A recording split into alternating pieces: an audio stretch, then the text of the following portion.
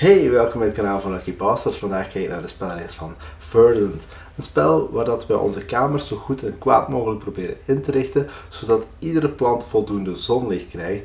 En we proberen nog met een aantal andere dingen rekening te houden, puzzelend totdat we de meeste punten eruit sleuren. Hier zie je hoe de spelregels gaan. Wil je echt weten wat ik van het spel vind? Later volgt er nog een review in mijn maandoverzicht.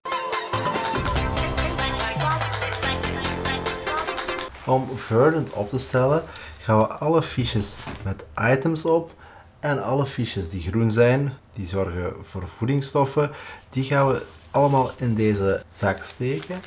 Schuffel goed en plaats dan vier willekeurige tokens in het midden van de tafel op een rij. Schuffel alle plantenkaarten en leg dan boven ieder fiche één plantenkaart opengedraaid. Leg de stapel ernaast. Doe hetzelfde voor de kamerkaarten. Schuffel deze en leg je dan vier onder de fiches.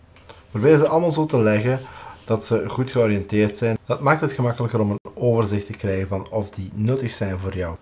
Plaats de groene duimpjes en de currency fiches in de buurt van deze markt die we nu hebben opengelegd. Merk hierbij op dat de donkergroene grote currency fiches tellen als drie kleintjes. Dan hebben we ook nog de terracotta potten.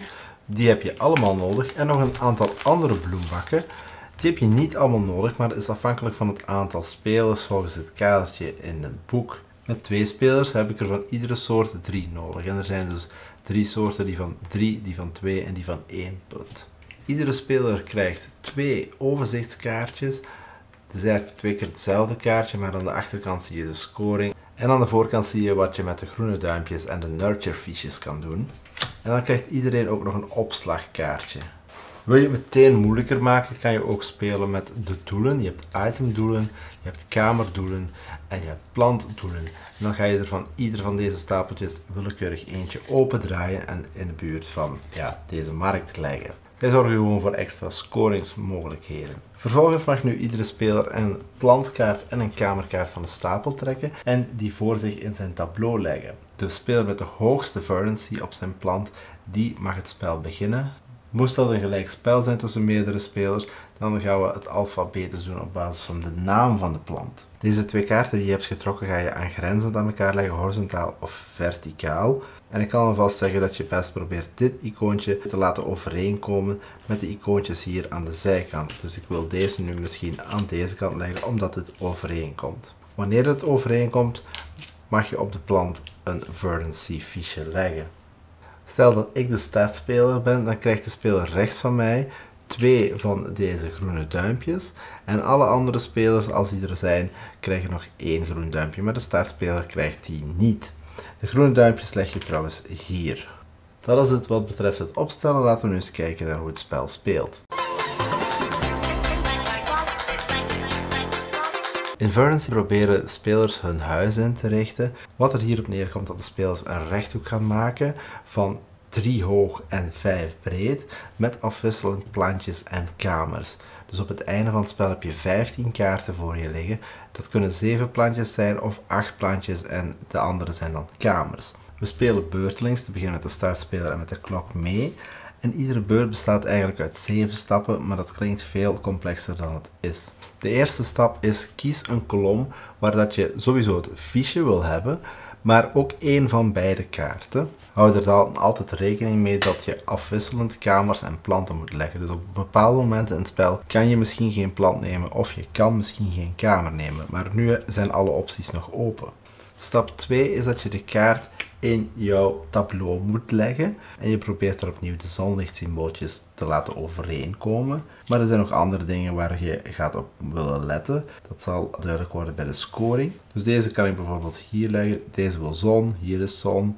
Ik zou die ook hier kunnen leggen. Maar ik zou je ook zeggen, ja, die, die heeft ook nood aan schaduw. Ik kan die dus ook hierboven leggen, zolang ik maar niet buiten het 3 op 5 gebied ga.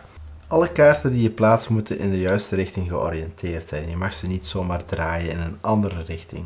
Stap 3 is al meteen dat je gaat controleren of er overeenkomst is. Is dat het geval, dan leg je een verdancy op de plant. En het kan zijn dat die naast meerdere kamers ligt en dat hij dus in één beurt meerdere verdancy fiches kan toevoegen. In dit geval is het er maar eentje echter.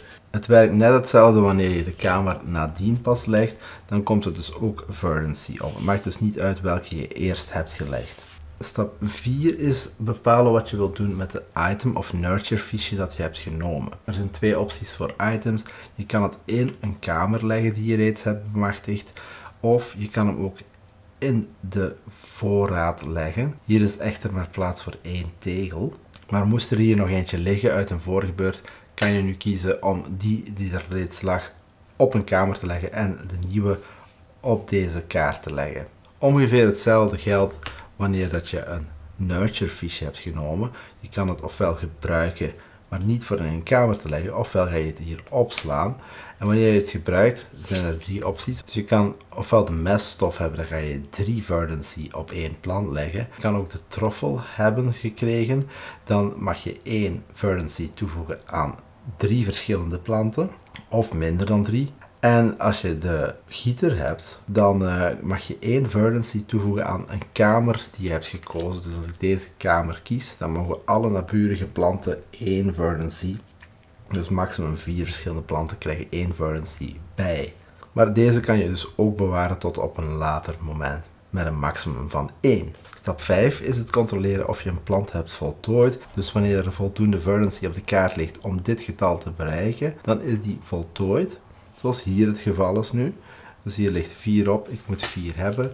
Dus dan ga je alles eraf halen en dan ga je de best beschikbare bloempot ervoor nemen. Dus in het begin zijn dat die, die drie punten waard zijn en die leg je daarop. Vanaf nu gaat hier geen verdancy meer bijkomen op deze kaart. Telkens wanneer je er mag bijleggen, wordt dat gewoon genegeerd. In stap 6 ga je even controleren of je nu niet te veel items hebt, dus maximum 1. Maar hetzelfde geldt voor de, groene duimpjes. Stel dat je meer dan 5 groene duimpjes hebt, dan moet je ze ofwel nu opgebruiken aan een van de vier verschillende opties waarvoor je ze kan gebruiken. Eentje daarvan is bijvoorbeeld verdancy toevoegen aan een plant, dus dat mag je ten alle tijden daarvoor gebruiken. Maar heb je er meer dan 5, moet je er nu wegdoen. En net hetzelfde voor de items.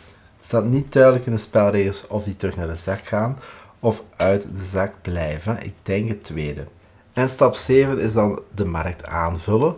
Vooraleer dat je kaarten of fiches gaat toevoegen, ga je eerst een duimpje leggen op de kaart die niet is genomen uit de kolom waar dat je hebt gekozen. Dus dat is deze kaart die overblijft en pas daarna gaan we aanvullen met een kaartje van de betreffende stapel en een fiche.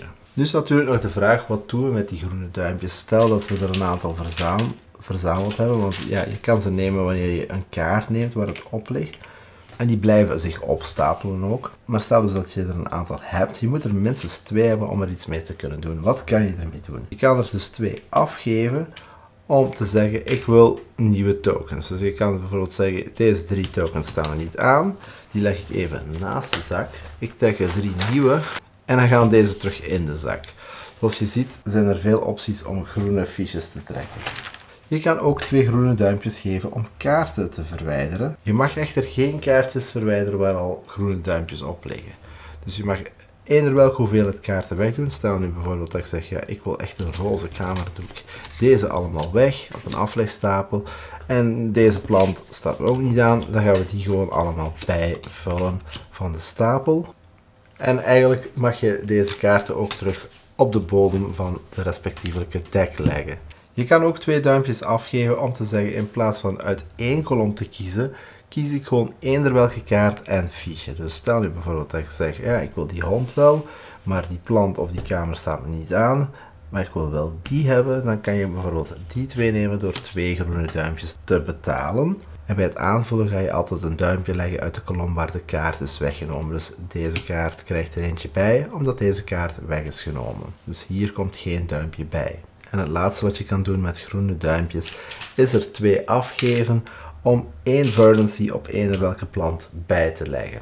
En daarmee kan je die misschien ook afmaken. Je mag meerdere van deze groene duimacties doen in jouw beurt, mits jij genoeg groene duimpjes hebt natuurlijk.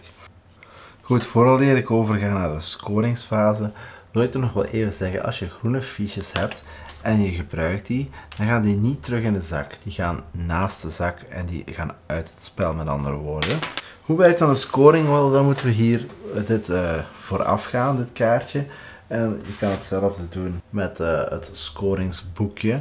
Dus het eerste wat je moet natellen is de punten van de planten waarvan je een pot hebt voltooid. Dus deze bijvoorbeeld is niet het aantal verdancy dat erop staat, maar het icoontje dat eronder staat is belangrijk. In dit geval dus ook hetzelfde, 5 punten. Deze is 8, dat is al 13. Deze is ook afgeraakt, dus dat is 17. En deze is nog eens 6, dus dat is 23 in dit geval. Voor iedere twee verdancy die je nog hebt, scoor je ook een punt. Dus dat is 1, 2, 3, 4 verdancy, dus 4 punten daar. Dan de potten. 2 plus 3 plus 2 plus 1, dat is 8 als ik dat goed voor heb. De volgende is de moeilijkste misschien om te begrijpen, maar hier probeer je de kamerkleur en de plantkleur te laten overeenkomen. Dus we gaan niet meer naar de zonnetjes kijken, maar naar de achtergrondkleur. Dus dit is bijvoorbeeld een oranje kamer, maar hier ligt geen oranje plant naast, dus dat levert niets op. Maar wat we wel hier hebben bijvoorbeeld, is een blauwe kamer met daarnaast twee blauwe planten. Standaard levert dat 1 punt per overeenkomst op, maar ligt er ook een fiche in dat ook nog eens dezelfde kleur heeft, dan is dat 2 punten per overeenkomst. Dus dat is 2, 4. Uh, deze plant, omdat deze kamer ernaast ligt, is nog eens 2, dus dat is al 6.